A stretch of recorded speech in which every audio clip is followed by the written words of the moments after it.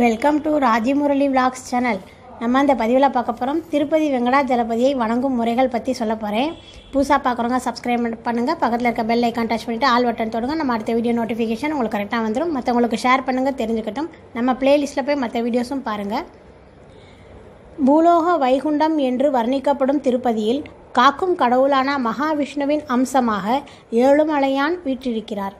வேங்கடம் என்று அழைக்கப்படும் மலைப்பகுதியில் ஏழு மலை தாண்டி குடியிருக்கிற பெருமாளை தரிசிக்க உலகம் முழுவதும் இருந்தும் பக்தர்கள் வருகை புரிகின்றனர்.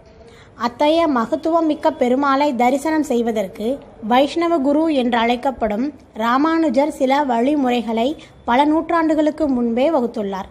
அதையடுத்து திருப்பதி பெருமாளை எப்படி வணங்க வேண்டும் என்றும் பெருமாளின் சிறப்பு மற்றும் அதிசயங்கள் குறித்தும் பார்க்கலாம். திருப்பதி பெருமாளை மற்ற பெருமாள் போன்றில்லாமல் அவரை தரிசனம் செய்வதற்கான நியமங்களின்படி முதலில் பத்மாவதி தாயார் வீற்றிருக்கும் அலர்மேல் மங்காபுரம் சென்று பத்மாவதி தாயாரை தரிசித்து அருள் பெற வேண்டும். தன்னிடம் வேண்டும் பக்தர்களின் கோரிக்கைகளை பூர்த்தி செய்யுமாறு வேங்கடவனிடம் பத்மாவதி தாயார் சிபாரிசு செய்வதாக ஐதீகம். தாயாரை தரிசனம் செய்த பிறகு திருமலை மீது வீற்றிருக்கும் ஏழுமலையானை தரிசிக்க பாத யாத்திரையாக செல்வது சிறந்த பலனை கொடுக்கும். பாத யாத்திரை செல்ல முடியாதவர்கள் வாகனங்கள் மூலமாக ஏழு மலைகளை கடந்து திருமலை வந்த பின்பு திருமலைக்கு உரிமையாளரான வராகர் சுவாமி கோவிலில் உள்ள புஷ்கரணியில் குளித்து வராக மூர்த்தியிடம் அனுமதி கேட்க வேண்டும். அதன் பின்னர்தான் மலையப்ப சாமியான திருப்பதி வெங்கடாஜலபதியை வணங்க வேண்டும். அவ்வாறு வெங்கடேஸ்வரனை தரிசிக்கும் போது பெருமாளுக்குரிய மந்திரம் கூறி பிரார்த்தனை செய்திட வேண்டும்.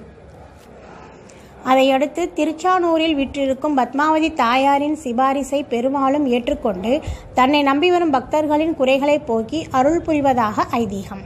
அதிசயம். திருப்பதி கோவிலில் இருந்து ஒரு கிலோமீட்டர் தொலைவில் இருக்கும் சிலா தோரணம் என்ற அபூர்வ பாறைகள் உலகத்திலேயே இங்கு மட்டும்தான் இருப்பது பெரும் அதிசயமாகும். இந்த பாறைகளின் வயது இருநூத்தி ஐம்பது கோடி வருடமாகும். ஏழுமலையானின் திருமேனியும் இந்த பாறைகளும் ஒரே விதமானவை. ஏழுமலையான் திருவுருவச் சிலைக்கு சாற்றப்படும் பச்சை கற்பூரத்தை சாதாரண கருங்கல்லில் தடவினால் கருங்கல் வெடித்துவிடும்.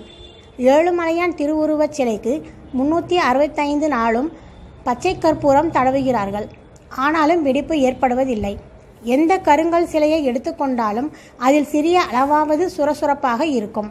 ஆனால் ஏழுமலையான் திருமேனியில் நுணுக்க வேலைப்பாடுகள் எல்லாம் மெருகு போடப்பட்டது போல் இருக்கின்றன. ஏழுமலையான் விக்கிரகத்தில் உள்ள ஆபரணங்கள் அனைத்தும் நகைக்கு பாலிஷ் போட்டது போல் பளபளப்பாக இருக்கின்றன. திருமலை மூவாயிரம் அடி உயரத்தில் குளிர் பிரதேசத்தில் இருந்தாலும் ஏழுமலையான் திருவுருவச் சிலை எப்போதும் நூற்றி பத்து டிகிரி வெப்பத்தில் இருப்பது அதிசயத்திலும் அதிசயமாகும்.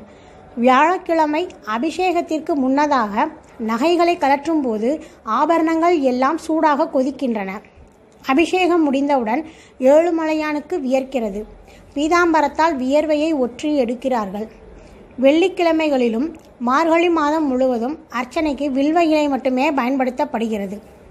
சிவராத்திரி அன்று க்ஷேத்திர பாலிகா என்ற உற்சவத்தின் போது பெருமாளுக்கு வைரத்தில் விபூதி நெற்றிப்பட்டை சாத்தப்பட்டு வீதி உலா நடைபெறுகிறது. திருப்பதி பெருமாளின் அபிஷேகத்திற்காக ஸ்பெயினில் இருந்து குங்குமப்பூ பாரிஸ் நகரத்தில் இருந்து வாசனை திரவியங்கள் ஆம்ஸ்டர்டாமில் இருந்து ரோஜா மலர்கள் நேபாளத்தில் இருந்து கஸ்தூரி சீனாவில் இருந்து புனுகு அகில் சந்தனம் அம்பர் முதலிய உயர்ந்த பொருட்கள் விமானத்தில் வரவழைக்கப்படுகின்றன. திருமலை கோவிலில் உள்ள ஆயிரத்தி நூற்றி எண்பது கல்வெட்டுகளில் ஐம்பது கல்வெட்டுகள் தான் தெலுங்கு கன்னட மொழிகளில் உள்ளன. மீதம் ஆயிரத்தி நூற்று முப்பது கல்வெட்டுகள் தமிழ் மொழியில் இருப்பது குறிப்பிடத்தக்கது. ஓகே ஃப்ரெண்ட்ஸ் இந்த பதிவு பிடிச்சிருந்தால் லைக் பண்ணுங்கள் கமெண்ட் பண்ணுங்கள் தேங்க்யூ ஃப்ரெண்ட்ஸ்